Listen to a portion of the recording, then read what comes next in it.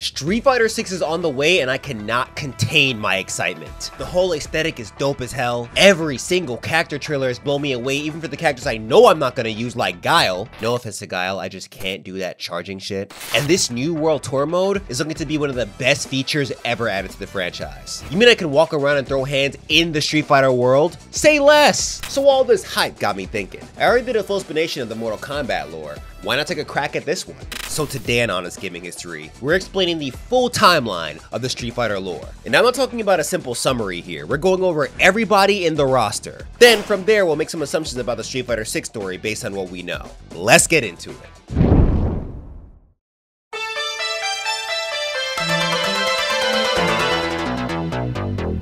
Begin in the year 1987 with the first Street Fighter game developed by Takashi Nishiyama and Hiroshi Matsumoto. Nishiyama was inspired to make the game after working on Irem's title Kung Fu Master, or Spartan X in Japan. After the game's release, Capcom yoinked him from Irem, and there he improved on what he created with Spartan X. In an interview with OneUp.com, he states that he wanted to create a game with more depth. Back then, games were simple. You run around and shoot shit. That's it. He wants to create an actual story with characters who had goals. Crazy how that was a goal when the Street Fighter lore now is all over the place. As for the story, the first game focuses on Ryu, an orphan martial artist learned how to throw hands from Master Gouken. To test his training, my man flies to Thailand and enters the first World Warrior tournament. He Hadokens his way through the competition until he gets to the champ, Sagat, the Emperor of Muay Thai. And this dude beats the brakes off of Ryu. It gets so bad that he tries to show mercy while our boy is down, but he immediately realizes that was a mistake when Ryu gives the meanest wake up show you can of his life, leaving a legendary scar on his chest. With that, Ryu takes the win, but he walks away feeling off. Something took over when he Shoryuken Sagat. He'll soon find out that it was the Satsui no Hado, the surge of murderous intent. AKA Black Air Force Energy. Now, though they weren't important to the plot, the first Street Fighter also debuted Ryu's best friend and rival, Ken, the assassin, Gen, Sagat's pupil, Adon, the English bouncer, Eagle, and the British fighter, Birdie. There are others, but they're just one-off characters who never show up again, so we'll skip them. Now onto the Alpha series, which yes came out after Street Fighter 2, but canonically takes place right after Street Fighter. Let's get into it.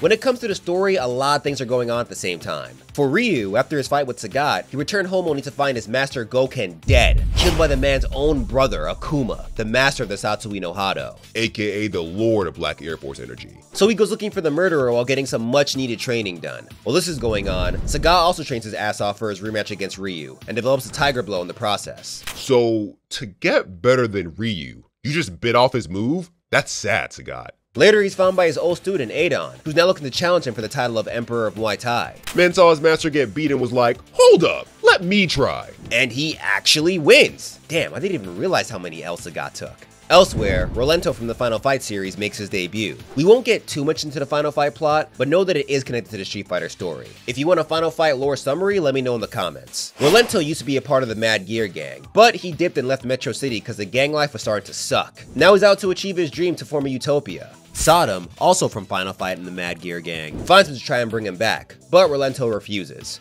Meanwhile, the crime boss M. Bison starts plotting. M. Bison is the leader of the dark organization known as Shadaloo, and a master of using the malevolent energy dubbed Psycho Power.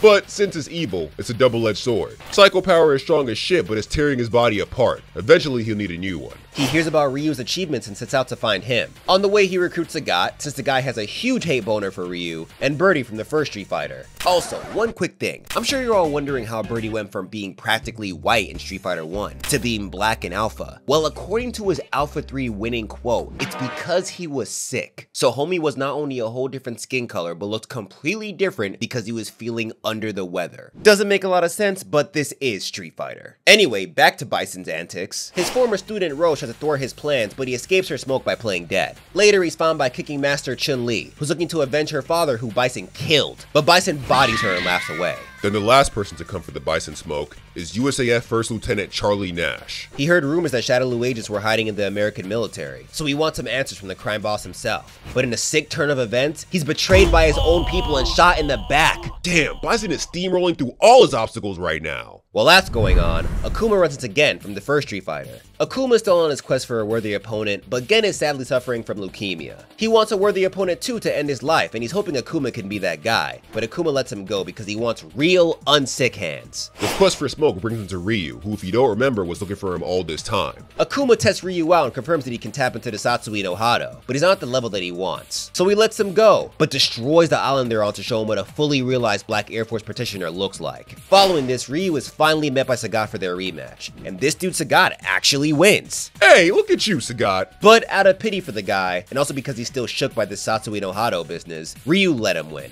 Never mind, Sagat. You suck! But this serves as a growth moment for Sagat. For one, he ends up training even harder and upgrades his Tiger Blow to the Tiger Uppercut we all know and love. And two, when he eventually runs into the clown-ass fighter Dan Hibiki, he doesn't completely murder his ass. See, Dan's father Go once challenged Sagat and took out one of his eyes, so Sagat killed his ass, thus fueling Dan's drive for revenge. But Dan is a garbage ass fighter. Like, you may be able to finesse him in the game, but in lore, he is ass. So when Sagat ran into him and saw this dude filled with anger, it kinda reminded him of himself and how Ryu made him feel.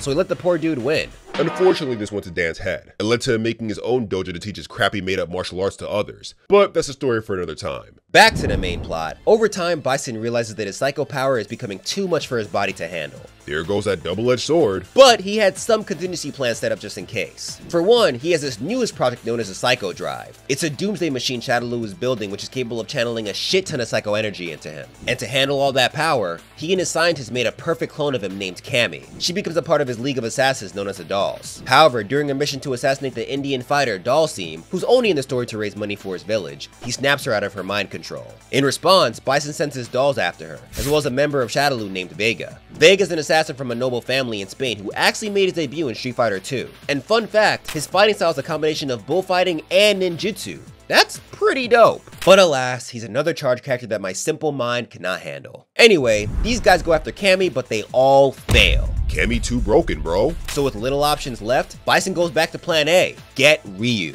But he doesn't want to just show up and snatch him up. That's not what main villains do.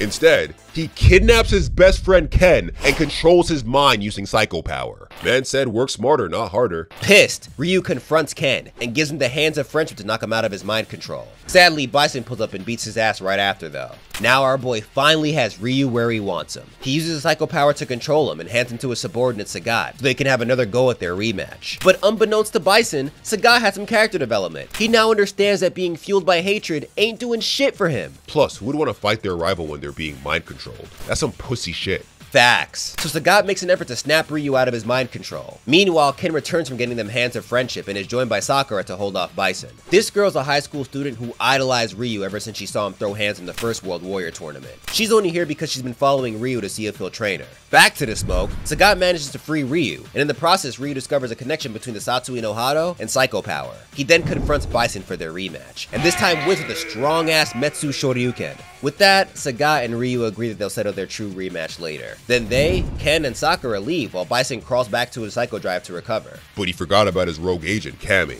She returns to the rest of the dolls looking to defeat Bison once and for all, to free them from his psychic control. However, Bison warns that killing him will only destroy their minds. So after beating Bison, Cammy uses the Psycho Drive to save the dolls, but they all fall unconscious from the strain while trying to escape the base. No worries though, cause Vega finds and saves them from the collapsing HQ. He believes that beings as beautiful as them shouldn't die. So basically Vega joined Shadaloo only to fail his first mission, then save the girls that beat his boss? Dude might as well be an anti-hero with how useless he is as a villain. Damn, I never thought about it like that, but yeah, you're right. As for Bison, well, this man doesn't believe in death. He somehow transfers his essence to the body of Rose, and that ends the story of the Alpha series. But there are still a bunch of characters we missed because they honestly didn't do much in the story. So here's a quick background on all of them. To start, we have the Russian wrestler Zangief. Originating from Street Fighter 2, he was initially tasked by the leader of the Soviet Union to show the world their country's strength. However, after the Psycho Drive's reveal, his mission was changed to apprehend Shadaloo. Next, we have Guy, the ninja from Final Fight who studies the Bushin Ryu style. He also pulled up after hearing about Shadaloo from his master, Zeku. We'll learn more about Zeku once we get to Street Fighter 5.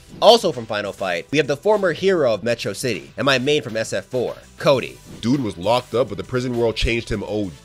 Now he's addicted to fighting. So much so that he breaks out of prison just to look for a good brawl. Anyway, next is the Mike Tyson wannabe Balrog. Originally from Street Fighter 2, he's a former heavyweight boxing champion who ended up working for Bison. As a member of Shadaloo, he was tasked with apprehending Gen and Birdie, the latter of which left Shadaloo with the goal of overthrowing Bison himself. yeah, okay, Birdie. Good luck with that. Then there is Blanka, who also came from Street Fighter 2. This dude did join the roster by accident. He was chilling in his home in the Amazon jungle until he accidentally entered human civilization on a poacher's truck. Also, two fun facts. His name is actually Jimmy, and during the Alpha series, he couldn't really communicate with humans. He was just out here screaming, grunting, and electrocuting people. Sticking with the Street Fighter 2 characters, next we have E Honda. He's a sumo wrestler from Japan, who's in the game to show the world the true power of sumo. That's it. Also, and I'm just now realizing this while recording, homie's government name is Edmund Honda. Edmund Honda. Nothing wrong with the name, it's just that from what I know, he's from Japan, so I didn't think his first name would be Edmund. I even double checked his origins just to make sure, and yeah, he's 100% from Japan. Maybe that's why he wasn't fully Japanese in the live action Street Fighter movie. Who knows? Next up in the roster, we have Rainbow Mika, the pro wrestler who made her debut in Alpha 3. She just wants to make a name for herself by traveling the world and throwing hands in the street. She's also a huge fan of Zangief. Next is Karin Kanzuki, who made her debut in the manga Sakura Ganbaru. She's Sakura's rival and heir to the prestigious Kanzuki Zaibatsu. Outside of her rivalry with Sakura fueling her, she's also here to look into Shadaloo since they're interested in her family's business. And that's it for the main roster.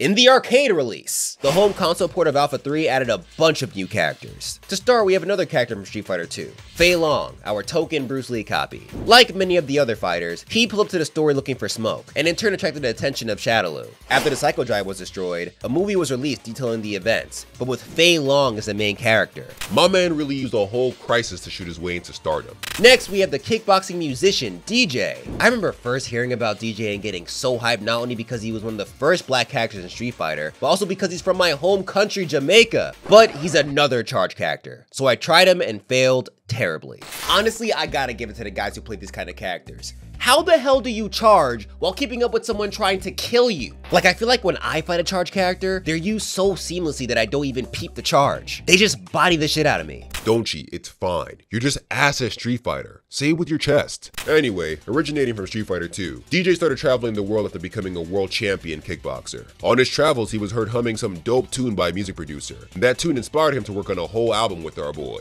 So basically, homie was looking for smoke, but found his love for music. Next is another Street Fighter 2 character, T-Hawk from the Thunderfoot tribe. He entered the plot because people from his village disappeared and he suspects Shadaloo to be responsible. Julie, one of the dolls, actually used to be his girlfriend. Following him, we have Guile, also originating from Street Fighter 2. Now, Guile's place in the story is a little confusing because of continuity issues. He entered the plot to go looking for his comrade, Charlie, who went AWOL after his last mission. If you don't remember, he was killed after it was revealed that some of the US military is working with Shadaloo. But in his Alpha 3 story, Charlie is still alive, and he actually helps him and Chun-Li defeat Bison and destroy the Psycho Drive. However, because of Street Fighter 5, we now know the Alpha 2 ending in which Charlie gets killed on a solo mission is a canon one. So technically, Guile just came here searching for his friend who we didn't know was dead. That's pretty depressing when you think about it. And the last two from the roster are Shin Akuma and Evil Ryu. But Shin Akuma is just Akuma when he goes full Satsui no Hado. And Evil Ryu is a what if character that shows what would happen if Ryu also went full Satsui no Hado. The only canon version of Evil Ryu is Kage, who doesn't pull up till Street Fighter V.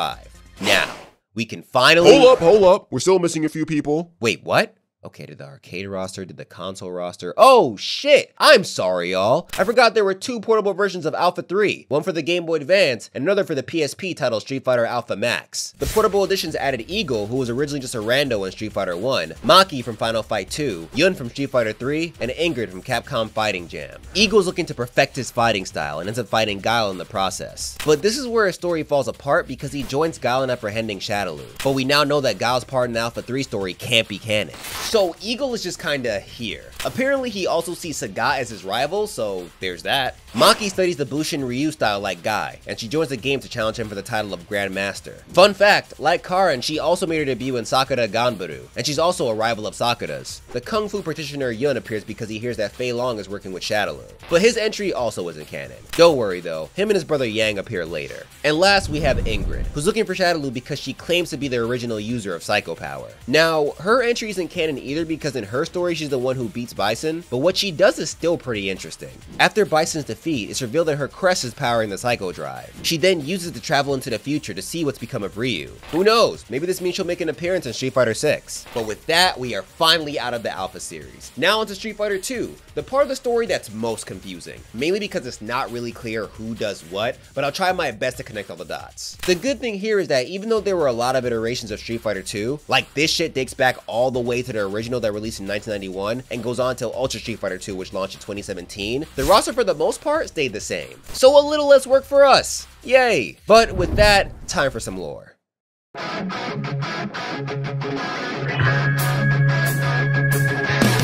This part of the plot is jump-started by Bison's evil ass. Dude somehow found another body after hiding in Rose for so long, and avoided going to jail by bribing the judge. Now he's back on his quest to get Ryu. He really wants my man's body, fam. To lure him out, Bison forms a new base in Thailand and announces the second World Warrior tournament. Vega and Balrog enter because, well, they kinda have to. I mean, they're still a part of Shadaloo. Sagat enters looking for his rematch against Ryu, and even though he had all that character development, he's still a part of Shadaloo. You hate to see it. Blanka joins simply because the shit he went through in the Alpha series made him realize he loves street fighting. Also, he knows how to speak a little now thanks to becoming friends with Dan and Sakura. Cammy joins because of her past ties to Bison. After the events of the Alpha series, she woke up with amnesia and was found by the British government organization Delta Red. Luckily, her combat skill stuck with her and she's been an asset for the team ever since. Since Bison killed her dad, Chun-Li enters looking for revenge and to end Shadaloo. DJ, now a major music artist, joins just to promote his work and find a new beat for his next album. I guess delivering hands inspires him to write music.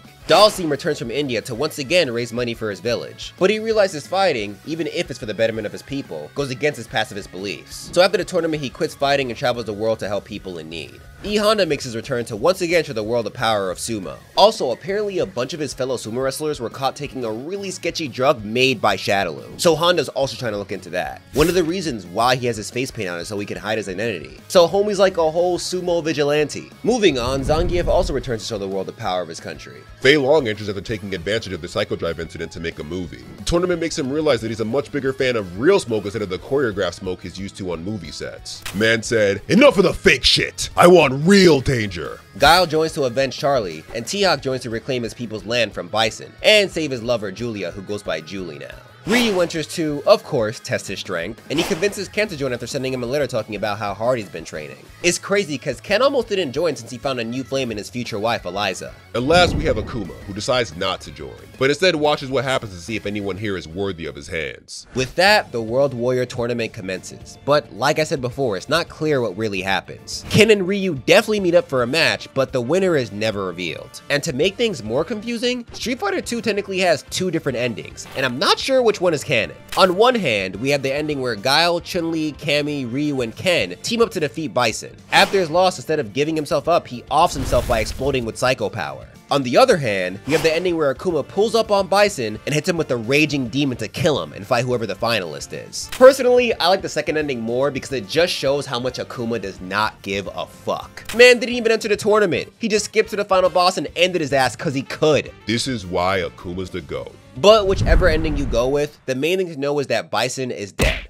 Again. Now before we move to Street Fighter 4, there were two other characters who were in Street Fighter 2, Evil Ryu and Violent Ken. They were in Ultra Street Fighter 2. We already know about Evil Ryu, but Violent Ken is completely new. He's the version of Ken that was controlled by Bison Psycho Power. One can argue that he's also a what-if character, but technically we already saw this Ken when Ryu had to fight him in the Alpha series. With that, we can move on to the next game in the timeline, Street Fighter 4.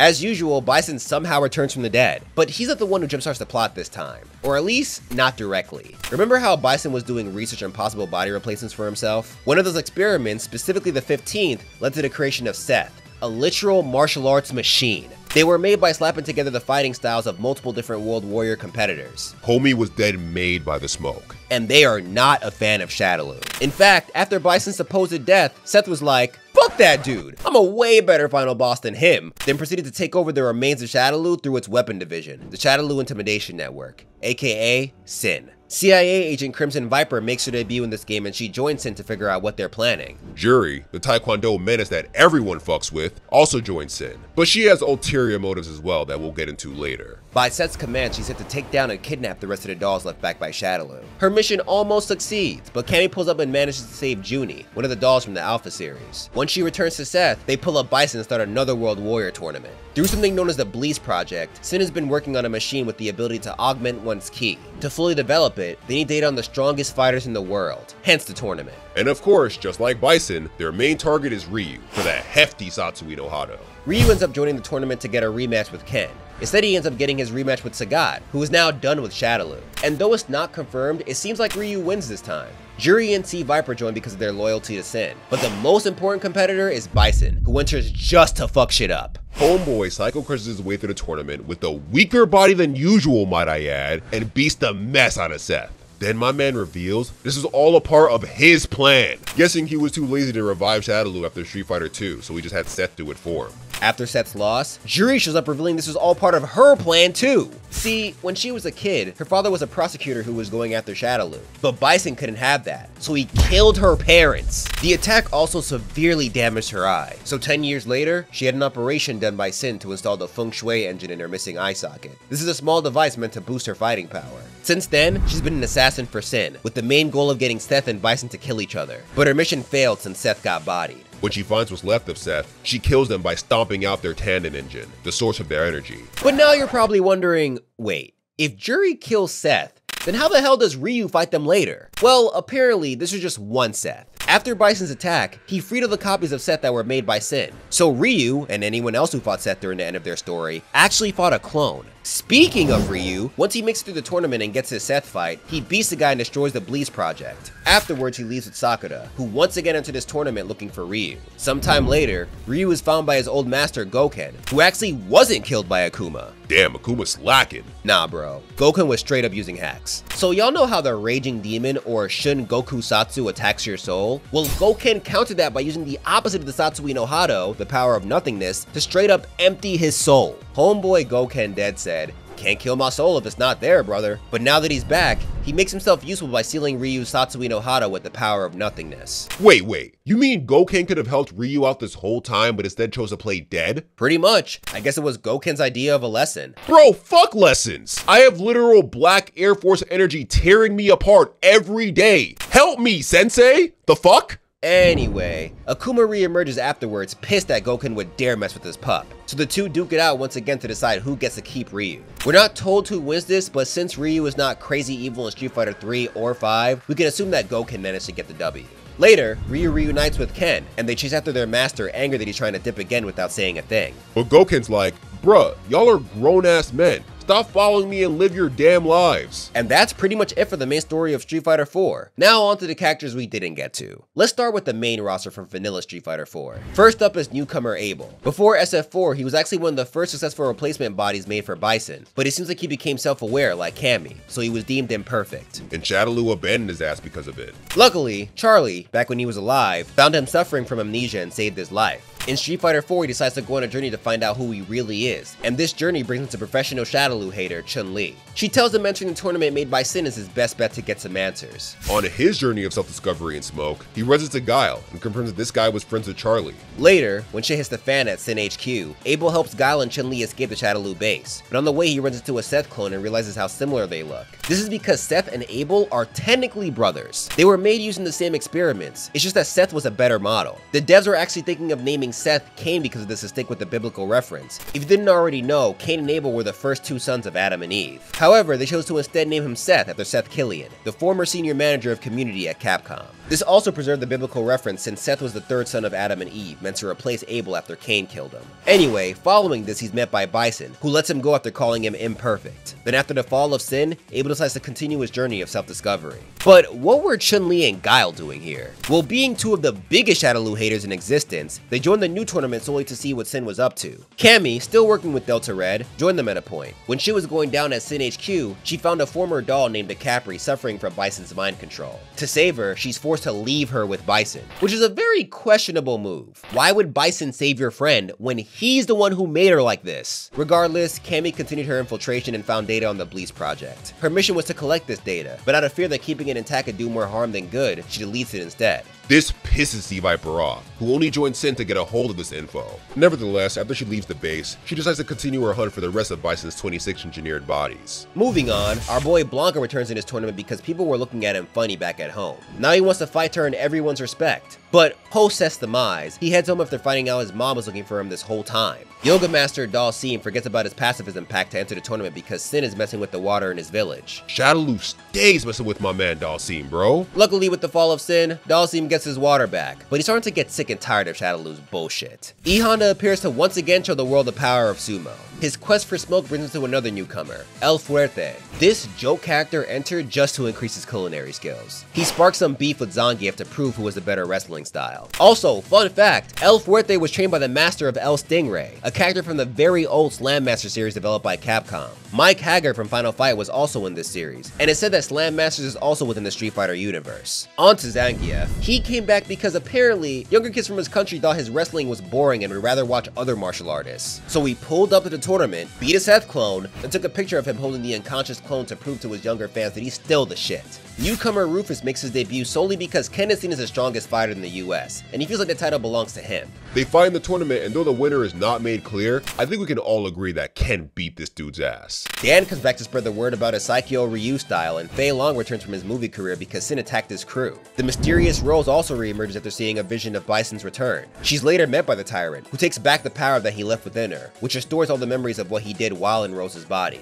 Bro, that must have been scary as shit. Imagine being flooded with memories of Bison doing wild shit in your body. I'd be shook. She ends up getting saved by a guy who doesn't fully appear until Super Street Fighter 4. The assassin, Gen, returns and joins the tournament looking to avenge Chun-Li's father's death. They used to be friends and because of that, he's been protecting Chun-Li when he could. Later, he catches Akuma's fight with Gouken over Ryu, which inspires him to keep fighting even though his body is giving out on him. Next, we have Vega. After Shadaloo collapsed due to the events in Street Fighter 2, he went back to bullfighting but soon got bored of it. He was hired by Sin but betrayed them the moment Seth's plan started falling apart. Sounds about right. He ended up taking a copy of the Bleach Project's data before Cammy destroyed it, and dips the running into Chun-Li. Fellow Shadaloo member Balrog doesn't enter the tournament, but is instead sent by Bison to Sin HQ to retrieve one of Seth's bodies. But Balrog's trying to get paid, so instead of doing his job, he goes looking for treasure. His search brings him to a young boy with a glowing Shadaloo mark. Balrog doesn't know anything about the kid, but surmises that he might be valuable, so he takes him and dips. And that's it for the vanilla roster. Now for everyone added in Super Street Fighter 4. Starting with Adon, he hears about the new World Warrior tournament and enters to fight his former master, Sagat. Before the tournament was even announced, Sagat pulled up to one of Adon's matches looking for inspiration. He eventually got challenged by Adon and whooped his ass. Now the former pupil is trying to end Sagat's life out of revenge. They cross paths in the tournament and unfortunately, Adon whoops Sagat's ass again. God damn it, Sagat, what happened to all that character development? Next up is my boy Cody and his boy Guy. Cody once again breaks out of jail due to boredom after hearing about the new World Warrior tournament. Guy enters after Sin floods his home of Metro City with weapons. They eventually meet and throw hands, but like almost every fight in Street Fighter 4, we don't know who wins. What we do know is after everything went down, Cody returned to his cell, and Guy saved Rose. But man, I remember when Cody's trailer dropped and I just knew he was gonna be my main. His theme song, the way my man just broke out of prison for the smoke, the fact that his punches are so real they summon mini tornadoes, yo, Cody was that dude. Anyway, our Jamaican bro DJ makes his return because he's bored of music and wants to get back into fighting. British boxer Dudley from Street Fighter 3 pulls up too after getting invited to this new tournament. Another newcomer, Hakan, joins the tournament to show the world the power of the Turkish national sport, oil wrestling. And yes, this is a real thing and it's exactly what it sounds like. Wrestlers douse themselves in oil and go at it. It's a tradition that dates back 4,500 years. Well, alright! You learn something new every day. Back to Hakan, and his stories reveal that he's old friends with E Honda. They just argue about whose martial art is better. Ibuki, who made her debut in Street Fighter 3 as well, sneaks out of her ninja school in Japan to enter the tournament just to meet Q Boys. Makoto, another character from Street Fighter 3, joins for honestly the noblest of reasons. She practiced Rindokan karate in Japan, but her father died, leaving her to take care of the failing dojo. She made it to the end of the tournament, but she came a little too late. Seth already lost, so she didn't win any money. But even with that pulling her down. She returns to Japan ready to make money the old-fashioned way. Yo, Makoto is best girl, bro. You heard it here first. And last in the Super Street Fighter 4 set, we have T-Hawk, who entered the tournament for atonement for failing all those past times against Shadaloo. Damn, dude still didn't find his girlfriend? Well, he did in his ending, but that doesn't seem to be canon since she's still a doll in Street Fighter 5. Now, onto the added characters from Street Fighter 4 Arcade Edition. The only important people from this expansion were the Kung Fu twins Yun and Yang. They appeared because they followed Chun-Li thinking whoever she fights must be a worthy opponent. Evil Ryu got added, but once again, he's a what-if character. And Oni got added, but he's a what-if version of Akuma that went 100% into the Satsui no Hado.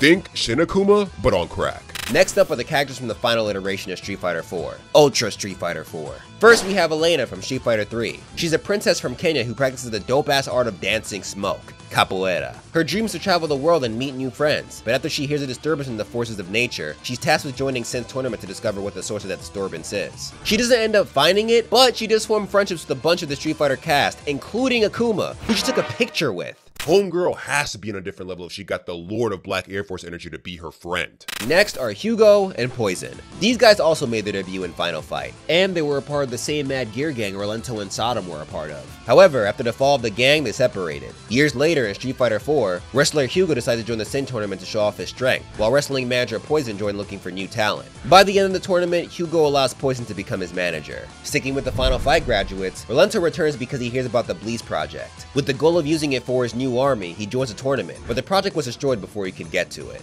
And last in the roster is Decapre, who we already went over. She was taken in by Sin after Shadaloo's fall with her objective being to kill Seth. However, as you know, Cammy found her later and gave her right back to Bison because he's the only one that can save her deteriorating mind. And that is it for what happened in Street Fighter 4. Now we move on to Street Fighter 5.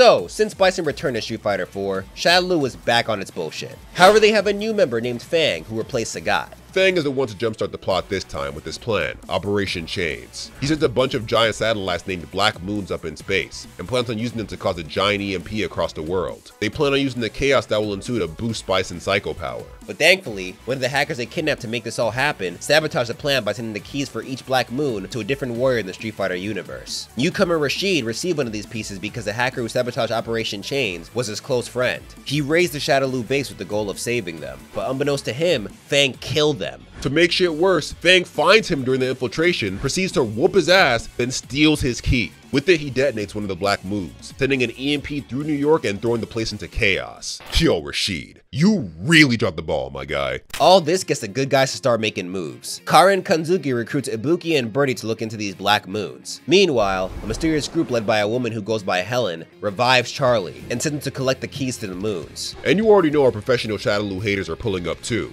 Guile and Chun-Li team up again and beeline it to New York. But what about our boy Ryu? Well, even though Gouken sealed the Satsui no Hado, is still fucking with him. So he's currently trying to figure out how to get a handle on this. He goes to Dhalsim for guidance, who tells him that he must face the murderous intent that are trying to suppress it. However, his lecture is cut short by the ancient Aztec warrior Necalli. AKA Demon Jesus. This guy seeks the souls of powerful fighters to eat them. His target is now Ryu. In good old Street Fighter fashion, they duke it out, but Necalli overpowers him and forces him to tap into the Satsui no Hado. Fortunately, Dhalsim saves our boy, but Necalli dips afterwards. Back in New York, Chun-Li and Guile find Bison, Fang, Vega, and Balrog causing mischief. Chun-Li tries to square up with Bison even though this is a losing battle and proceeds to get her shit rocked. Bison almost ends her ass too, but the homie Cammy shows up just in time to save them. They escape and it's revealed that Guile and Chun-Li both have Black Moon keys. But they can't do anything about that now because Charlie appears looking for those same keys. And even though Guile used to be his bro, he doesn't recognize him. So he beats the squad, takes their keys, and dips.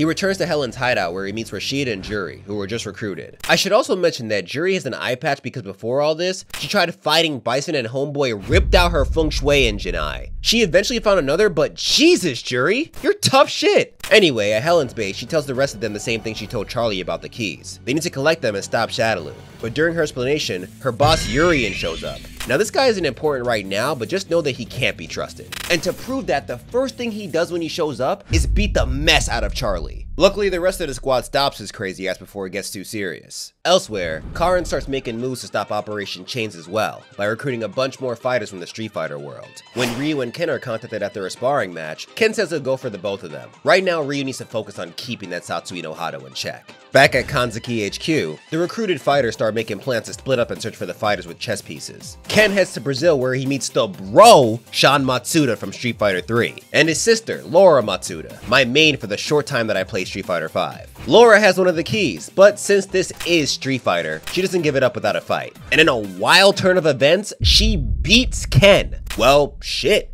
Even in the lore, Laura's no joke. After the brawl, Sean convinces his sister that these guys ain't here for the smoke. They need her key. So Laura gives him the key and joins the squad with the goal of making Matsuda Jiu-Jitsu known around the globe. Meanwhile, Guile joins grappler God Zangief to look for another key. But they run into Balrog and that kid he saved in Street Fighter 4 named Ed. They manage to fend off the duo at first, but then Ed uses his psycho power to snatch the key they were looking for. Back in New York, we find another character from Street Fighter 3, Alex. This dude is actually from New York. Completely forgot about that. His parents died when he was young and ever since then, he's lived with his dad's friend Tom and Tom's daughter Patricia. While raising him, Tom taught Alex the art of the hands. Dhalsim confronts him asking about the key he received. Then after fighting for no reason, Alex just hands it to him. Alex is just hungry for the smoke, bro. Back in Brazil, Decapre pulls up to Ken, Laura, and the gang. If you don't remember, last time we saw her, Bison took her in because her mind was falling apart. Cammy jumps in and knocks her out, but the cops pull up at the worst time because Sean called them. Sean,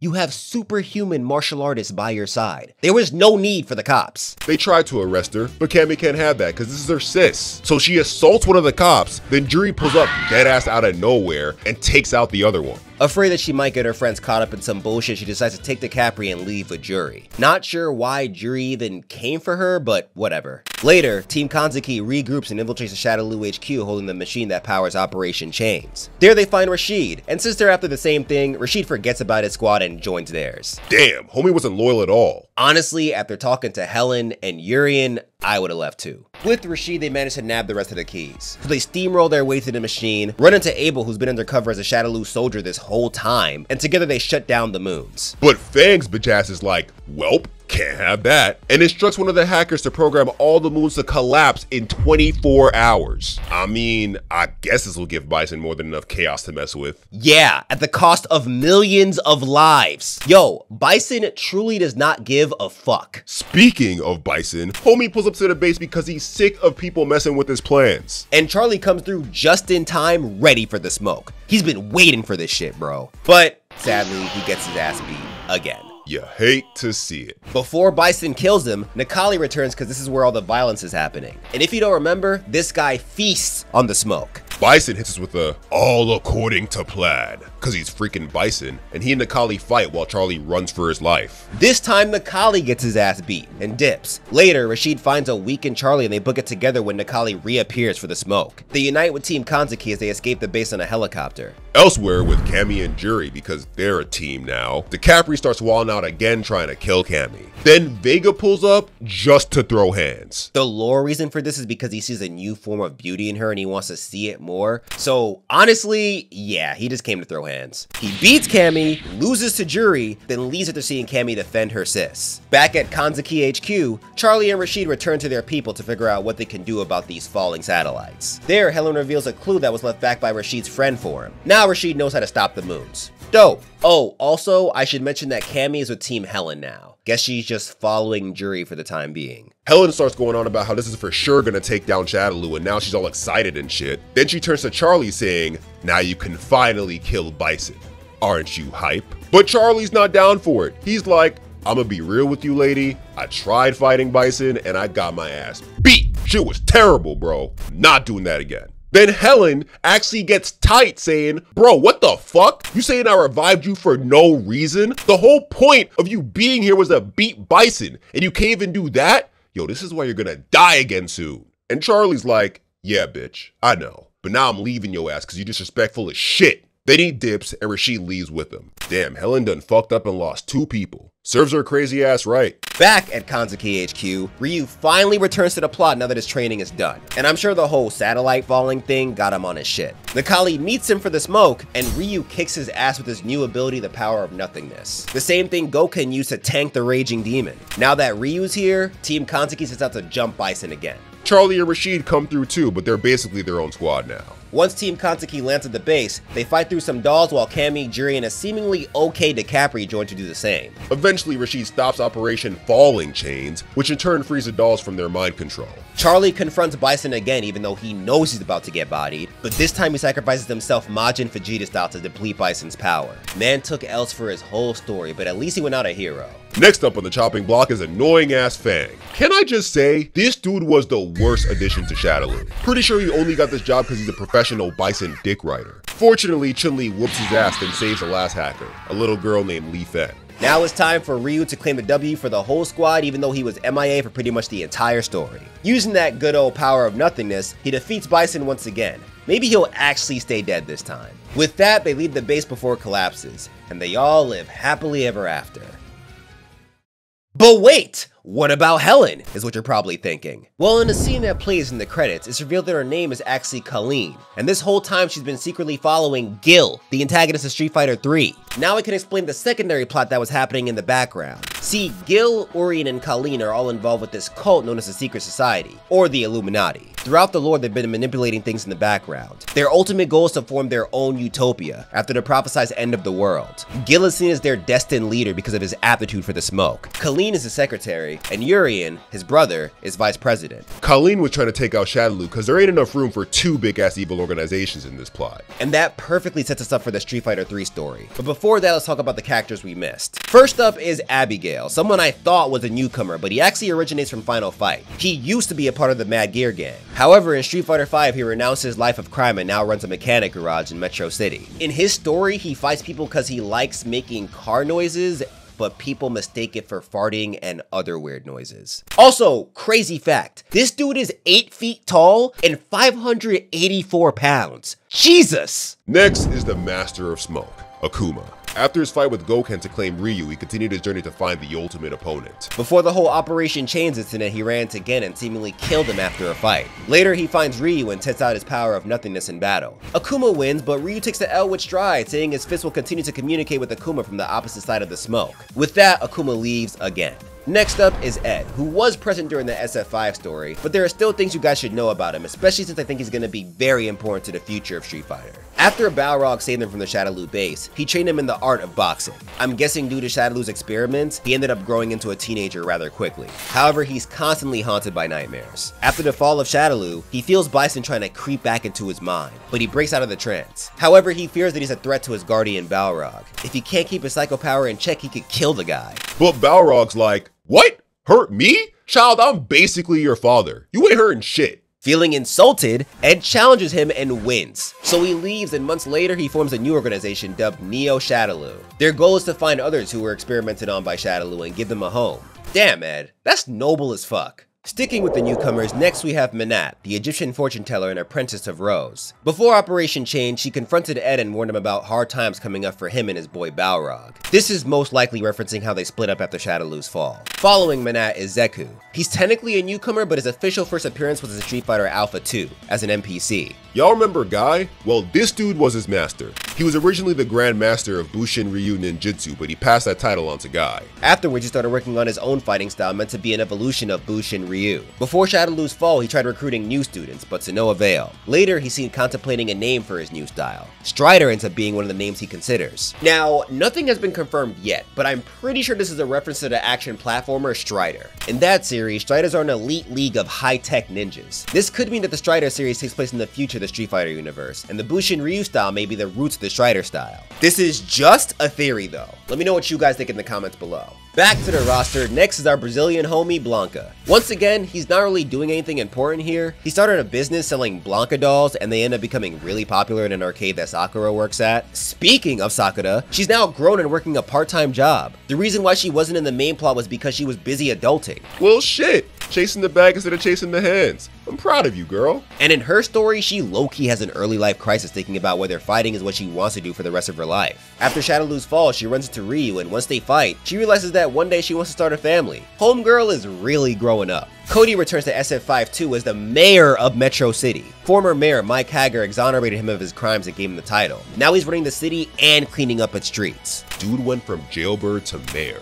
Illest promotion ever. Next is Falk, another newcomer to the series. She once was a Shadaloo experiment until Ed found her and saved her. He later recruits her into Neo Shadaloo. Following her is a mysterious Abraham lookalike and newcomer G. Apparently this guy calls himself the president of the world. That's a cocky ass title. G's dream is to unify the world, and he does this by raising his popularity through social media. But one of the biggest mysteries about G is in regards to Q, another ominous character who debuted in Third Strike. Since G dropped, everyone has been talking about how similar these two are, and what makes it even more odd is that we're not given much about either of them. To be honest, I'm not really sure if G and Q are the same person, mainly because Q doesn't even talk while G is super social. However, some proof lies in Gil's character story, which, for the record, takes place after Street Fighter 3, but for the sake of this explanation, I'm going to talk about it now. In his story, he deadass raids G's livestream to present himself to the world. They battle and Gil wins. Then G alludes to the fact that they are after the same thing. The mere fact that he has a connection with the boss of Street Fighter 3 is a big tell, but this could all just be Capcom throwing a huge red herring. Let me know what you guys think about G in the comments below. Anyway, on to our boy with all the L's, Sagat. Sagat's story in Street Fighter V was actually pretty interesting since it basically mirrors what Ryu went through. He's seen training, as he usually does, but the Satsui no Hado comes at him like a truck. Honestly, I didn't even know Sagat could tap into this shit. However, experiencing the murderous intent builds his understanding for Ryu. This helps him tap into the power of nothingness to quell the Satsui no Hado. Later, he's met by Kage, the embodiment of Ryu Satsui no Hado. Kage beats him, but Sagat comments on how this being will never be as strong as his boy Ryu.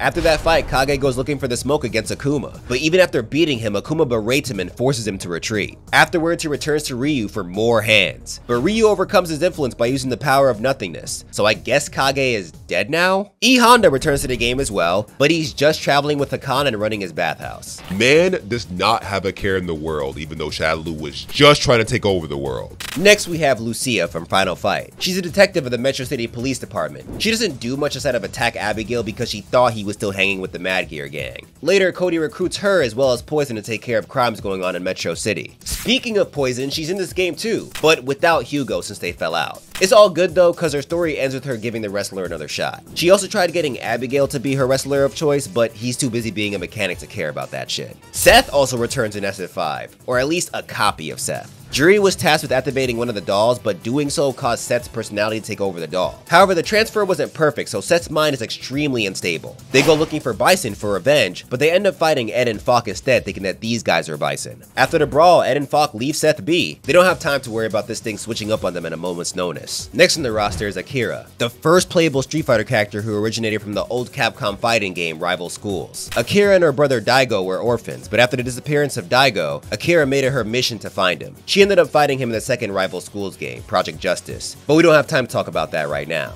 She entered the Street Fighter V story because she was looking for her old friend Sakura to train with. Yeah, if you don't know, Sakura made a cameo in Rival Schools. She visits the Kanzaki estate, but she gets jumped because nobody knows who she is. Then they have a beach party when Sakura clears everything up. Next is the clown of the roster, Dan fucking Hibiki. His dojo is failing, cause he's trash, so after being inspired by Blanka's dolls, he starts producing his own to advertise his fighting style. And that's pretty much all he's here for. Eleven is another newcomer to the series, but it doesn't do much here either. It's an experiment made by the Illuminati meant to copy the abilities of fighters. Before the events of the main story, Urien tried testing it out, but he deemed it as a failure, so Colleen used his body to bring back Charlie. This is why Urien came at him all crazy back in the story. He feels partially responsible for his creation. Moving on to Oro from Street Fighter 3. This guy's whole thing is that he's a legendary martial artist who mastered the art of Senjutsu. His goal is to find someone worthy enough to teach his techniques to. In Street Fighter 5, he goes on a quest to find that successor. He meets a lot of people, but the most important is Dhalsim. They chat about multiple philosophies, and Oro mentions how he believes that forces like the Satsui no Hado and Psycho Power are not inherently evil. Bro,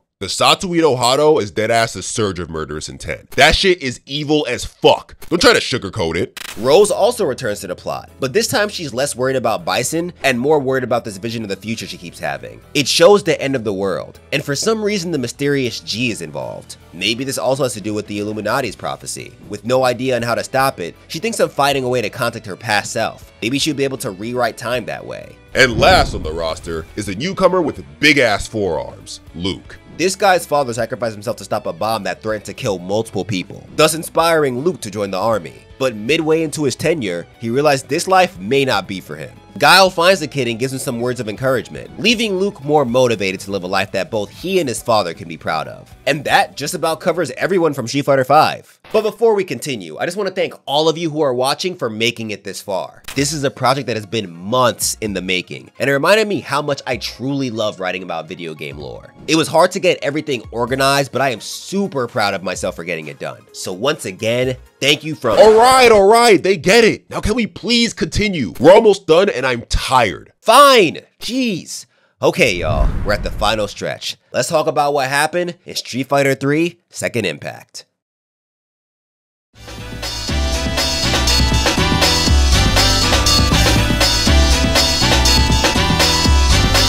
For those who don't know, Street Fighter 3 New Generation came first, but Second Impact retcons a lot of the story, and Third Strike wraps up the events of Second Impact. It's been a few years since all that shit happened in Street Fighter 5. A lot of the original roster is older and done with fighting. The Illuminati is thriving right now though. Business is going well and the organization is growing, so much so that Gil ends up getting his hands on a fly new car that was previously owned by the father of Dudley. If you don't remember Dudley, he's the heavyweight British boxer who showed up in Super Street Fighter 4. Later, Gil challenges Alex's caretaker Tom and beats him within an inch of his life. Homie said, call me the messiah of smoke. Meanwhile, under Gil's command, the Illuminati starts working on something deemed the G Project. It involves multiple genetic experiments with the goal of creating a league of super soldiers to populate the world when, according to their prophecy, Armageddon happens. Newcomers Necro and 12 were created from these experiments. However, Necro went rogue cause fuck the Illuminati. Later, as part of the same project, Gil and Colleen set up another World Warrior tournament. They're looking for the strongest people who are worthy of surviving the upcoming apocalypse. And like the last Street Fighters, this jumpstarts the plot of the Street Fighter 3 games. Our boy Dudley enters to get his father's car back. He doesn't win, but Gil just gives it back to him. Bro, what was the point of taking it in the first place? Our girl Elena returns, not to enter the tournament, but to make some new friends. She ends up studying abroad in Japan. Ibuki Naruto runs back into the plot because her clan tasks her with finding the files from the G Project. Gil ends up just giving it to her though.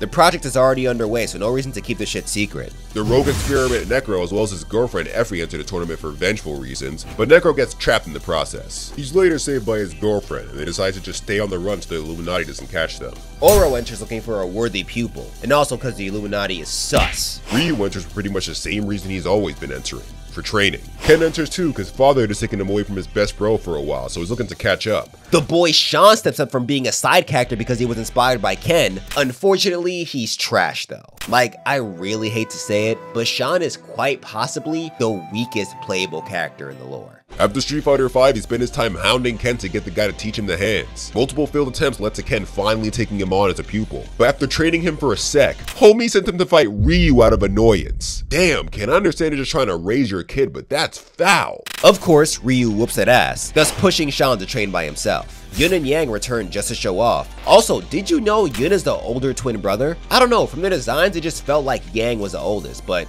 hey, the more you know. Gil's hating ass brother Urien joins the goal of defeating him and taking his place as leader of the Illuminati. But in the most hilarious turn of events, Gil lets his brother win, so Urien gets the title of president, but he ends up getting promoted to Emperor of the Illuminati. So Urien is still just player 2. Damn. Homie def needs some therapy. Anyway, Hugo returns with his partner Poison just for the smoke. That's pretty much it. Akuma doesn't enter this tournament either, but like in the last tournament, he just lurks looking for someone to fight. He ends up fighting Gil and hitting him with the Raging Demon, but unbeknownst to Akuma, the guy revives himself afterwards. And last but not least, we have our new protagonist, Alex, who joins to avenge his master Tom. He ends up getting to the end and defeating Gil, but he passes on killing him and heads back home to see his boy Tom fully recovered. Also, fun fact, before this tournament, Alex entered another tournament where he fought against Balrog and destroyed him. So that feat and his win against Gil proves that Alex is one of the strongest characters in the Street Fighter canon. Gil even takes interest in him after their battle. But with that, let's get into Third Strike. And wrap up the Street Fighter 3 story. Since the tournament is over, not much happens here. Dudley gets knighted, Elena goes back into street fighting to make more friends, then decides to study abroad in France, Hugo and Poison start a new wrestling promotion, Ibuki challenges Oro for her ninja graduation exam, then heads to college after passing. Sean enters a US martial arts tournament but takes another L, and Ken avenges him by winning the next tournament. Ryu later finds Ken and challenges his old friend to a sparring match, which he wins. Then runs into Alex and beats him too. He encourages a young warrior to continue his training, then goes back to his training. While on the run, Necro and his girl are confronted by Illuminati Experiment 12, but Necro beats the thing and they escape. Akuma and Oro meet up to duke it out, but we're never told who wins this match. Makoto hops back into the plot and challenges Ryu to a fight, which brings a shit ton of publicity to her dojo. Newcomer Remy joins the plot to honestly do nothing. He holds a grudge against fighting because his father left his family to pursue martial arts and his sister died in his absence. So he upholds his grudge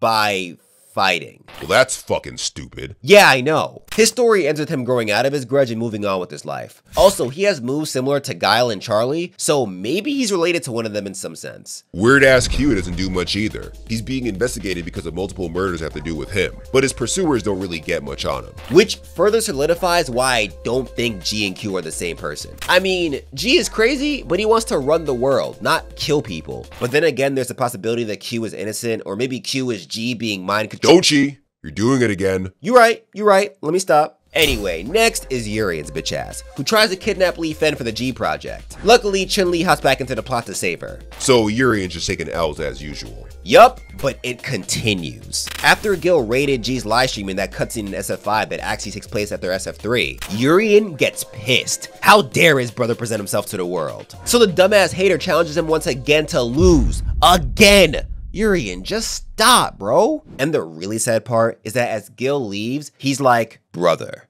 your time to be my replacement will come to pass. That's what the prophecy states. Then Urien's like, yo, fuck the prophecy. I want to be the chosen one. And he just continues to yell like this as Gil walks away. Dude has no respect for this man. None at all, bro. But with that, we have finally completed the Street Fighter timeline. Everything from Street Fighter 1 to now. We fucking did it, Conscience. Thank God. Now, after all that, the big question is, what does this all mean for Street Fighter 6? Well, as of the day that this is being recorded, we know that Blanka, Cammy, Chun-Li, DJ, Dhalsim, E Honda, Guile, Juri, Ken, Luke, Ryu, and Zangief are returning to the roster. And Jamie, Kimberly, Manon, Marissa, Lily, and JP are making their debut to the series. As for what everyone's doing here, from what we know, Blanka has become a tour guide, Chun-Li is now done with hunting Shadaloo and she's now training Li Fen, the same girl she saved in Street Fighter 5, meaning we could see Li Fen as a playable character. Dhalsim is still on his pacifist route, and E Honda is still trying to show the world how powerful Sumo is. Jamie, inspired by OG's Yun and Yang, is doing what he can to protect his hometown.